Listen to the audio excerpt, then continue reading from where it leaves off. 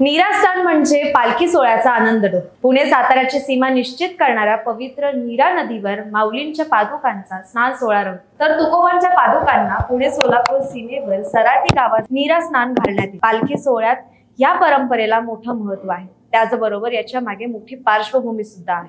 काय आहे नीरा स्नान सोहळा?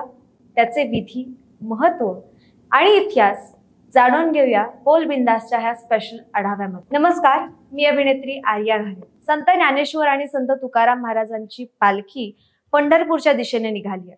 माऊलींची पालखी उद्या पुणे जिल्ह्यातून नीरा मार्गे सातारा जिल्ह्यात प्रवेश करते या दरम्यान माऊलींच्या पादुकांना नीरा नदीत स्नान घालण्यात येणार आहे. नीरा नदी ही महाराष्ट्रातली एक महत्वाची नदी म्हणून मानल्या जाते. भोर तालुक्यातनं ही नदी उगम पावते. धार्मिक दृष्ट्याही ह्या नदीला मोठं मानाचं स्थान आहे. पालखी सोहळ्याशीही ही नदी खूप आधीपासून जोडल्या गेलेली आहे. त्यामुळे चंद्रभागा इंद्रायणी इतकीच वारकऱ्यांना ही नदी ही प्रिय आहे. वारीच्या मार्गावर नीरा स्नानाला ह्या परंपरेत मोठं महत्त्व आहे. कितीतरी दशकांपासून ही परंपरा सुरू आहे. माऊलींची पालखी जेव्हा पुणे जिल्ह्यातनं नीरा गावी येते तेव्हा वारकऱ्यांना नीरा स्नानेचा ओढला. रंगबिरंगी सजवलेला पालखीचा रथ जेव्हा नीरे नदीच्या पुलावरनं मार्गक्रमण करू लागतो तेव्हा लाखो वैष्णवांचे भक्तांचे मन आनंदमय होऊन जातात. त्यानंतर नीरा नदीच्या पहिल्या तीरावर निसर्गरम्य दत्त घाटाच्या परिसरात पालखी विसावते. तिथे पालखीतून माऊलींच्या पादुका हातात घेतल्या जातात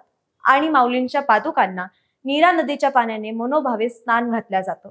त्यानंतर विधिवत पूजा होतात आरती होते. दरवर्षी हा नित्यक्रम आहे. यात कसलाही खंड पडलेला आहे श्री ज्ञानेश्वर माऊलींचे निस्सीम भक्त असलेले हैबद बाबा यांनी सन अठराशे बत्तीसमध्ये माऊलींच्या पालखी सोहळ्याला सुरुवात केली असं सांगितलं जातं. श्री हैबत बाबा हे सातार जिल्ह्यातील अरफळ गावाचे श्रीमंत महादजी शिंदे यांच्या दरबारात ते सरदार होते. आजही त्यांचे वंशज बाळासाहेब अरफळकर हे सोहळ्याचे मालक आहेत आणि त्यांच्याच अधिपत्याखाली हा सोहळा चालतो. त्या काळी ह्या सोहळ्याला श्रीमंत शितोळे सरकार आळंदीकर वास्कर खंडोजी बाबा या सगळ्यांनी सहकार्य केलं.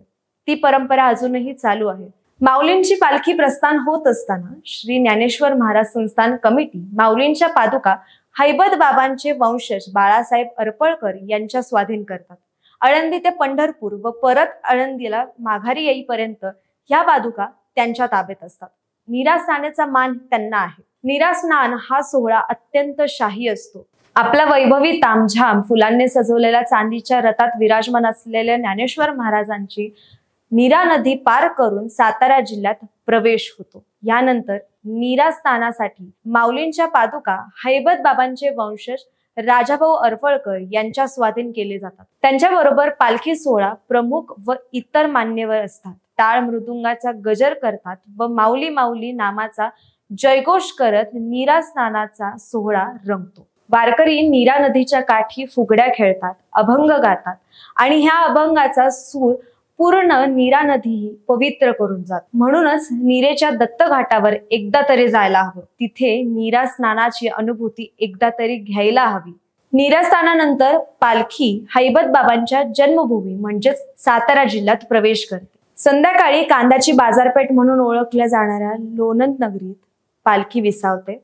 नीरा स्नानाच्या ह्या सोहळ्याने सगळ्यांचे तन मन जणूस पवित्र होऊन जाते. पंढरीच्या वाटेवर नदीकाठी वारकरी भाविक स्नानासाठी थांबत असत. जुना पालखी मार्ग बदलण्यात आला व नीरा गावा मार्गे पालखी जाऊ लागली. यानंतर माऊलींच्या पादुकांना स्नान घालायची परंपरा सुरू झाल्याचं आपल्याला दिसतं. ही परंपरा जुनी असल्याचे संत साहित्य अभ्यासक दशरथ यादव सांगतात. संत तुकाराम महाराजांच्या पालखी सोहळ्यातही नीरा स्नानाची परंपरा आहे. पालखी सोलापुरात प्रवेश करताना सराठी गावाजवळ तुकोबांच्या पादुकांना स्नान घालण्यात येतो. कोरोना काळात पायीवारीला फाटा दिला गेला. तरीही प्रतिकात्मक स्वरूपात पादुकांना नीरा स्नान घालण्यात आले. इतकं या परंपरेला पालखी सोहळ्यात महत्त्व आहे. म्हणूनच प्रत्येकाने एकदा सोहळ्याचे साक्षीदार व्हायला हवं. तर मग तुम्हाला कसा वाटला व्हिडिओ? आम्हाला नक्की सांगा. चॅनलला सबस्क्राईब करा लाईक करा शेअर करा. धन्यवाद.